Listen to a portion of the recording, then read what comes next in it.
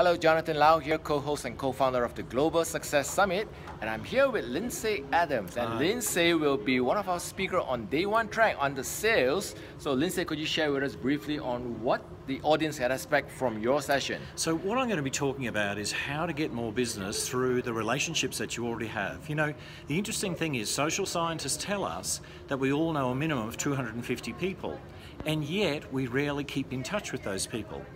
And I'm going to share with you a really neat concept uh, called the Key Four. I'm going to show you how to how you can leverage off just four other people in your network to bring you all the business that you'll ever require. Fantastic. And uh, so it's about tapping into the network of people that you already know and, and honing in on just four other people to uh, really drill down and generate those referrals that are so easy to get and yet they're so close to us and yet we often overlook them.